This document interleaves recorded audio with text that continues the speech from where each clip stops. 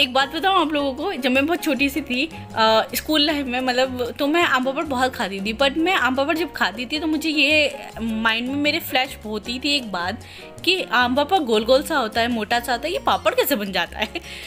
तो इतना stupid question मेरे माइंड में चल रहा होता है।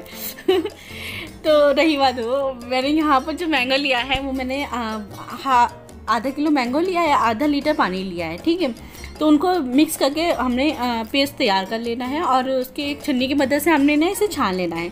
तो कोई लम्स हुआ या फिर कोई रेशा हुआ, आम का जो रेशा होते हैं, वो भी हमें चाहिए नहीं तो ये बारीक समय पेस्ट तैयार मिल जाएगा। तो बस अब इसमें 200 ग्राम हमने चीनी लिया है और एक नींबू का रस लिया है। मतलब उसको डालकर बॉईल करना है। बॉईल हमें तब तक करना है जब तक अच्छा सा बॉइलिंग ना आ जाए। मतलब एक दो फदक आ जाएगी। तो हमारा ये बॉयल अच्छे से हो गया है। अब घर में जितने भी सारे बर्तन होंगे ना, वो सारे बर्तन निकाल लीजिए, क्योंकि इसकी ज़रूरत हमें पड़ने वाली है। तो देखिए, इसकी थिकनेस कैसी है? बहुत ज़्यादा थिकर नहीं रखा है हमने। और सारे में हम पे लगा देंगे। तीन बड़ा चमचा है वो तीन हमने डाला है। तीन बड़े चमचा एक बर्तन में डाल दिया उसको फैला दिया ठीक है, और अब उसके बाद हम इसे धूप में रख देंगे। धूप जो है अगर हमने मॉर्निंग में बनाया तो इवनिंग तक ही बहुत अच्छे से हो जाएगा। तो सूख तो गया है, अभी दोपहर हो गई है, पर ये सूख गया है बट ये बहुत ज़्यादा नहीं सूखा है, पर एक सूख गया है, मैं आपको वही दिखाती हूँ उसको कट करके दिखाती हूँ। बट मैंने जब इसे धूप से लेकर आई तो मैंने इसे रूम टेम्परेचर पे छोड़ दिया, तकरीबन 10 मिनट के लिए, ताकि ये ठंडा हो गया, बिल्कुल फ़ैन के नीचे रख दिया था तो बिल्कुल ठंडा हो गया था।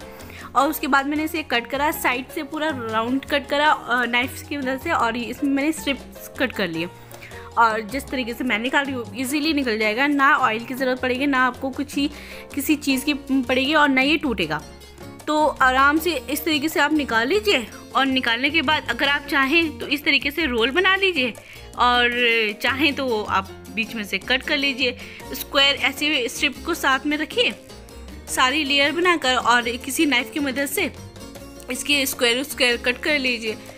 तो होप सो वीडियो अच्छी लगी होगी। अच्छी लगी तो लाइक करके ज़रूर जाएँ सब्सक्राइब भी करें और शेयर कर दें। इसको वायरल कर दें, फटाफट से।